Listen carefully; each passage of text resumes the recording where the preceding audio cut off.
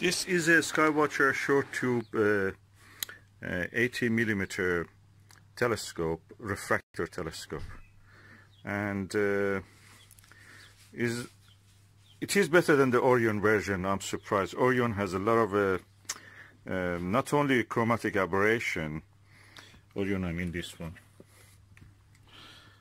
This one. They should be the same, and Orion is actually the premium brand but it doesn't. It has a chromatic aberration. Beside that, it has a, a spherical aberration. Surprise, surprise.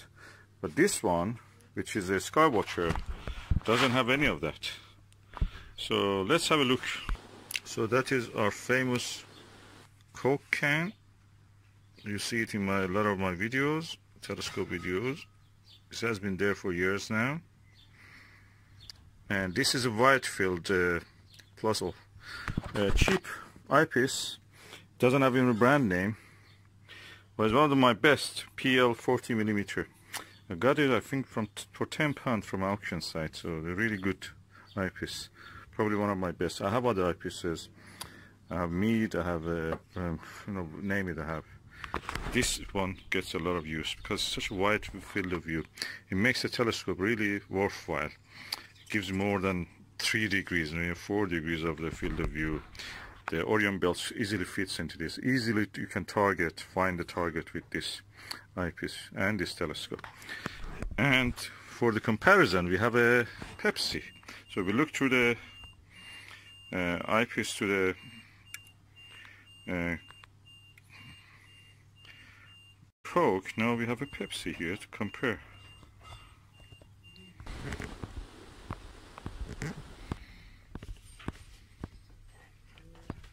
That's not bigger than this. So 80 millimeter is the, I think, is a crucial size that makes a difference between a refractor and a reflector. Orion, I'll look to the with the Orion to the Jupiter, 80 millimeter Orion. Was just a blob, messy. Could not see really. Chromatic aberration was really bad. Beside the spherical aberration, which actually ruined the picture. And I look to Jupiter with this, which is the Meade ETX 90 millimeter and it was really good. With this one also I had a very good one. I must say this one was really close to. They both are close. This is the ETX 125 and this is ETX 90. Both were very good.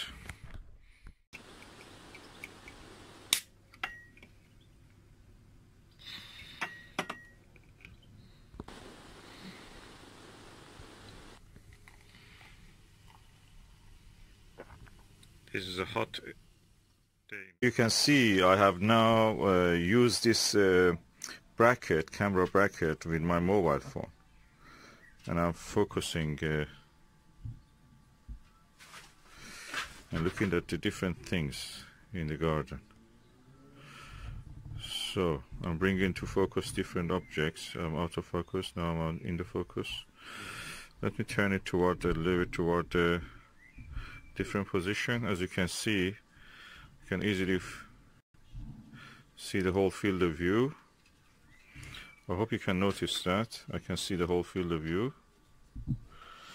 Let me just uh, put it here.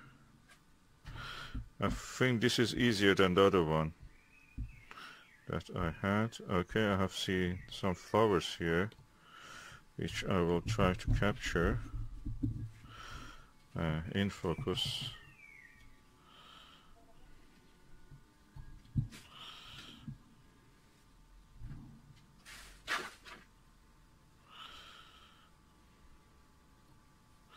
I can even zoom with my hand, you know, I don't need to zoom uh, with anything else but just my hands and the camera because it's a practically mobile phone camera.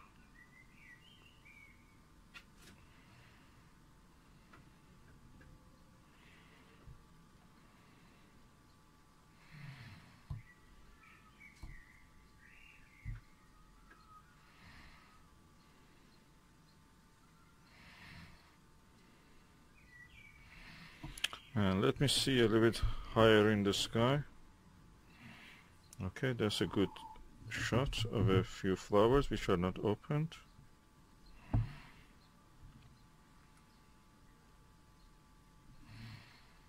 So I'm trying to focus on them.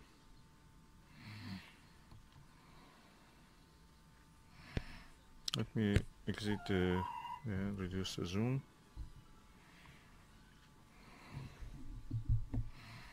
Okay I'm go now going to the sky just to see if I can focus on any purple fringing mm, you be the judge do you see any purple fringing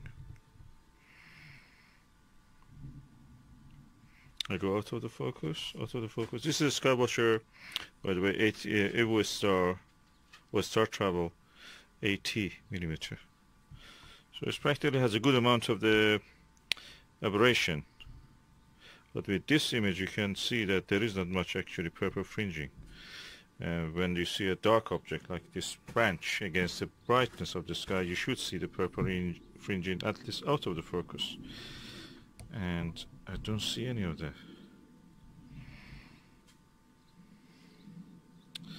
So this camera does really well and uh, and the mount of course I can move the field of view slightly just to see what can I achieve.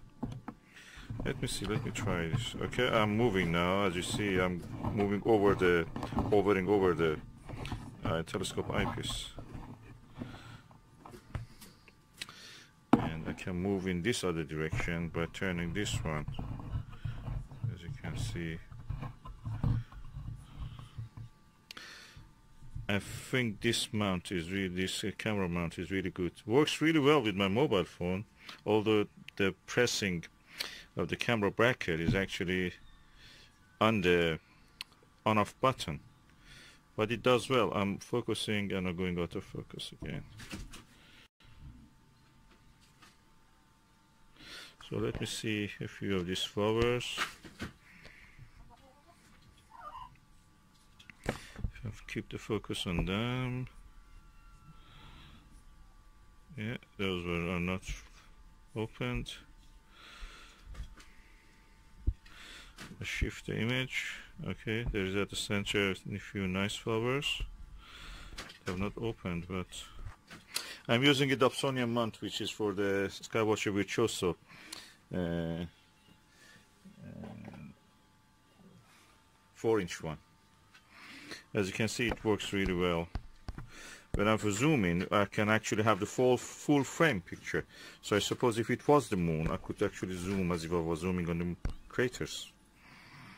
Just at the very high um, focus high, high uh, magnification with the camera digital uh, digitally uh, magnifying I can see some tiny red bits I'm not sure around the flowers in the lower part of the image or if you're looking like that is probably to the right of the image.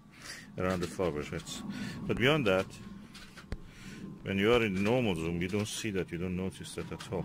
So this this is really good. This is really good. This is what I want.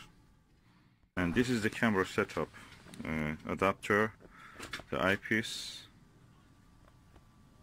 As you can see that's the flower we were looking at and this is a telescope, a Skywatcher telescope. So all the setting works on this. Brilliant. And this is of course the Skywatcher Virtuoso, this Newtonian. This Newtonian. This is the stand for this. So, works well. Okay, as you can see, I just loosen up this and it's uh, the whole thing comes off the eyepiece. The whole weight is on this uh, ball bearing here. And with the friction it works of course. You can use it with any other method if you have a German equatorial mount or anything. The same thing applies here it just works. And uh, yeah good overall picture and video capturing system